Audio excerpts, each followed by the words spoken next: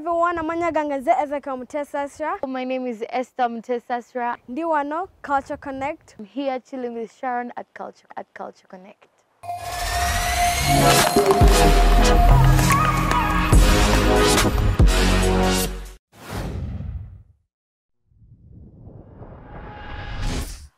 From Gulu, Masakalira, Karamoja, Ajumani, Mateso, Waganda, Basoga. Welcome to Culture Connect. It's me, your girl again, Sharon, today in studio. I'm so happy. I'm so excited. Oh my God, to have Mr. Rogers Mugeni, all the way from the Buganda Kingdom, the servant of the king, the- son of the land, Buganda Kingdom. Welcome to the show, Mr. Rogers. Thanks so much, uh, Sharon. It's an honor for me to be here to represent uh, the Kingdom of Uganda and be able to be uh, of, of value to this conversation. And I'm hoping that we are going to have a great discussion today. I'm also happy. I can't wait to hear from you. Actually, the person who named Uganda to be the Pearl of Africa was true, was really correct and very true. And today we'll be exploring the Buganda Kingdom, the land of the five hills, the land of the Kabaka. Personally, I've heard a lot of the King of Buganda has many names. I mean, if you hear these names, you guys out there, you must continue to watch. I don't know where you're we're watching from, from your kitchens, your sitting rooms, your your bedrooms, your dining rooms. I don't know, but just stay tuned. Be here. We'll be taking you through. I know some of you. I mean, you may not. You don't know your friend's culture. You don't know the language. You don't know what, what they eat. You don't know how their dress code. You don't know how they greet, and you also don't know personally where your parents come from. Just stay tuned on Culture Connect. Today we'll be in Buganda Kingdom.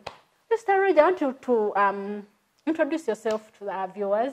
Tell them where you come from. I've had this old Baganda. Actually, every Muganda has a clan where they come from, and I've heard that each clan they have respons- different responsibilities to the kingdom. Would you briefly take us through? Mm, Thanks so much, Sharon. Uh, my name is uh, Rogers Mugenyi. Uh, I am a son of uh, Bulemezi. That's the, one of the 18 counties of Buganda. Uh, th- that is Luwero district from a village called Uzibwera. My father is the late Sergeant John Jones Kakoza, and my mother is um, uh, I would kneel as our culture is, but you know we are in the dot com era, it's a bit tight. But my mom is uh, Namatovu uh, Jennifer, who still lives, and she's of the uh, Engabi clan, and we come from the Ente clan. We are the official custodians of the king's cows and enough meat uh, so that they can be healthy to serve the kingdom. And uh, I do other things. I am uh, they, these days they call them MCs for introductions, but I, I, we are definitely just not MCs. We do more than that, uh, but we make sure that uh, introduction functions happen as per the norms and customs of Buganda. Wow, you you spoke about the like the cows. Yes. You're the official custodians. Can you elaborate a little about that? You own all the cows of the king. You take care of them. What do you do exactly? No, make no mistakes. We don't own. You know, the king owns everything under the sun. He owns the grass. He owns the women, the ladies. He owns the men. He owns all the buildings. Maybe, perhaps, he owns Mapera. You never know. The Oh king owns everything. So the king has cows, several of them, and it's our duty to ensure that those cows are doing well and that the, the kingdom is supplied with enough milk for the king and, and his people and the subjects to, to do really well. And uh, as you know, milk makes skins, and you know, we are responsible for why our king glitters the way you see him.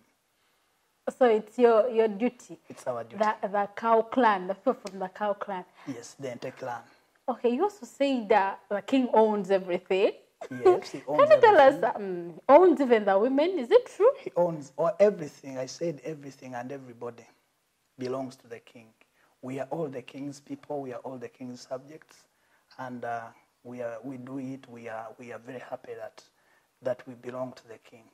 Where do you Baganda get that, you know, that the king owns, get that audacity to say the king owns everything. He owns the land. He owns the women.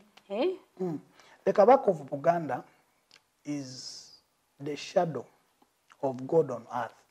He, he is the owner of all the land, of all the minerals, perhaps including the minerals in Hoima, the, the oil. He owns everything. So some of us could be owning, keeping that land because the, the, it, it pleased the king that we, for some time now, be the ones uh, inhabiting that land. But the land really belongs to the king. That's why we call him Sabataka, the owner of the land, the supreme owner of the land. And he, it pleases him to distribute it to whoever he pleases to distribute it to. So um, that's why I told you that the king owns everything. Oh my God. So it just pleases the king. Like you guys, the way you, you say it, pleases the king to, to have, like if the king wants your wife. hmm? So you'd say it has, the king is pleased to have my wife. Uh, under normal circumstances, yes, but you know, we are, we are talking culture connect. Yes. It is culture. Culture evolves over time. There are things that uh, our great, great, great grandparents did that uh, we cannot do right now. There are a lot of uh, factors that have, have formed the culture we have now. There is education, there is uh, introduction of religion, there is what they call civilization, and I don't know what that means. So, I mean, there are a lot of factors that have therefore now allowed some of us who, because it pleased the king that we are now married, the king cannot really take our women. Well, Mroja, what do you find so unique about the, the Buganda culture, about your culture, what you really feel proud of? If you're introducing yourself, you say, I'm Rogers Mugenyi from Buganda. Hey, I'm so proud of this. Tell us something you're proud of to be a Muganda. There are a lot of things. Yes. First of all, the word uh, Buganda means Obuganda. It means unity. A lot Oh, of I didn't know about that. Yes, it means bundles brought together of Buganda. So if you study the history of Buganda, you realize that Buganda was not Buganda. The Buganda you see there, were, there was just once one chiefdom that kept expanding Okay. it would even it would interest your your ears to learn that places like Vudu were not were not part of Buganda. Okay. So they were chiefdoms.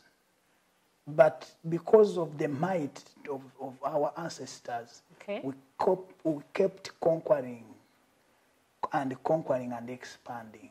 So one of the, the things that I'm proud of being a Muganda is the element of unity, the element of accepting everybody. Right now, you will find people calling themselves um, Kabaka's man, Kabaka's subject, but they are not necessarily the indigenous Baganda.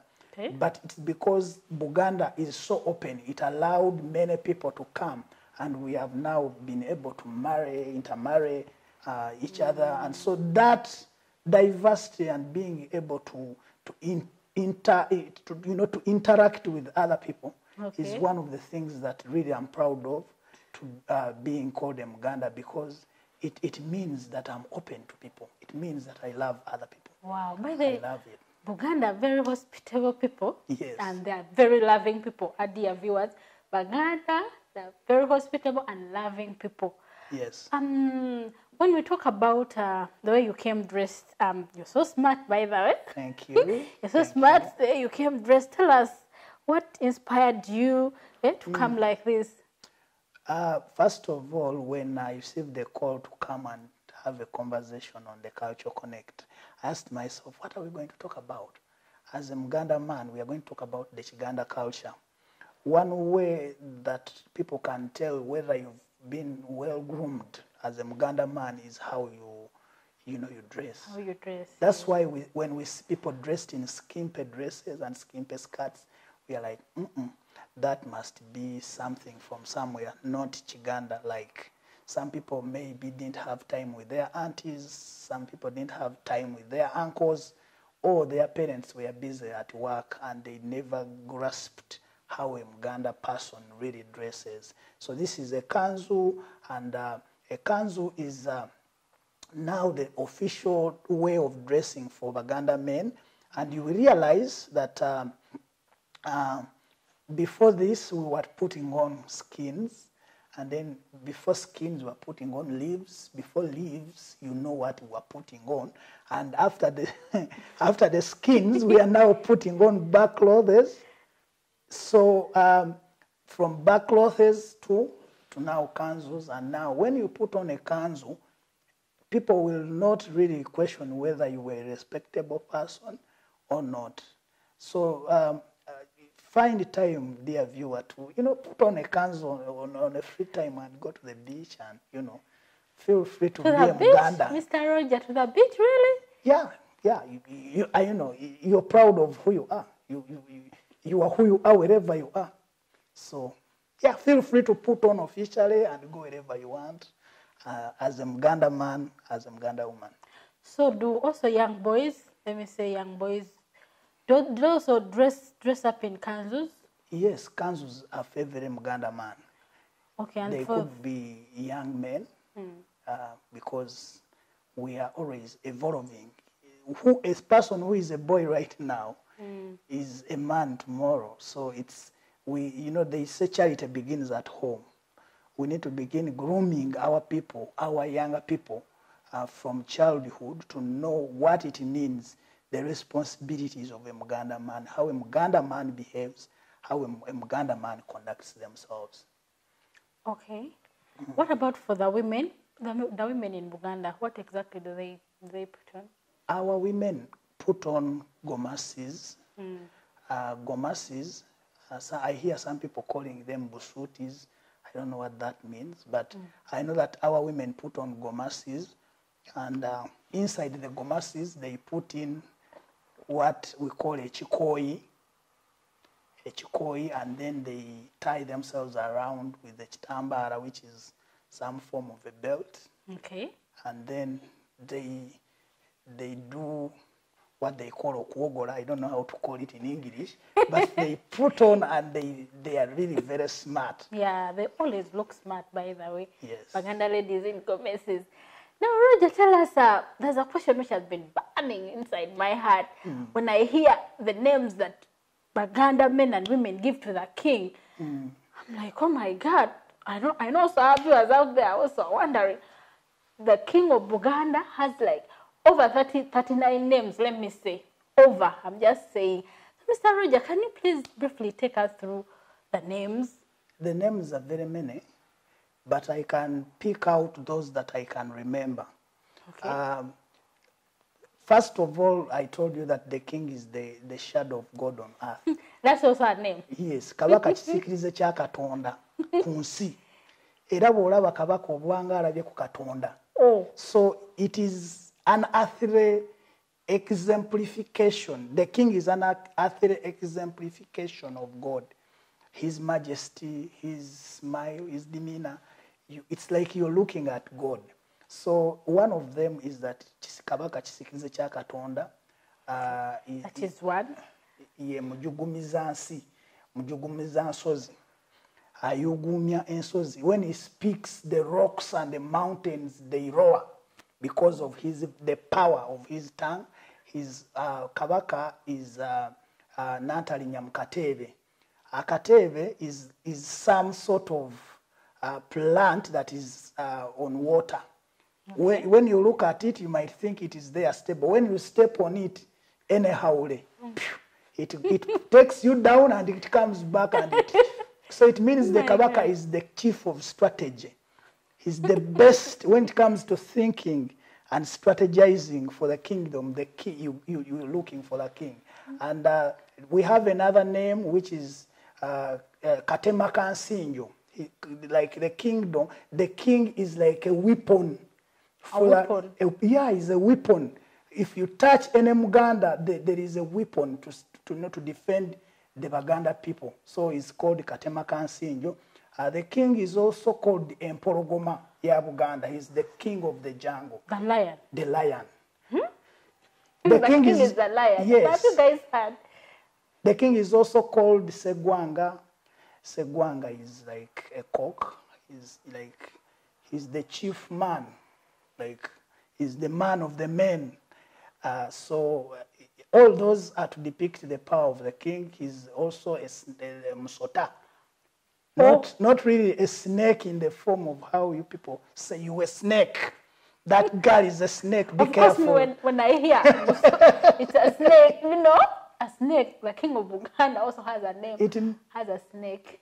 Yes, it's a snake, and it means that uh, uh, he, the king can sting. You can look at a snake there as if it is it can't do anything, but if you hurt it anyhow, it Can sting. It can sting. So which means if you touch any Muganda, Mm-hmm. the king can sting you. Guys out there, be very careful with Baganda. Be very careful. Be very careful with Baganda. Be very careful with Buganda. be careful how you you know, but also feel free because all those things come when you are not a good person.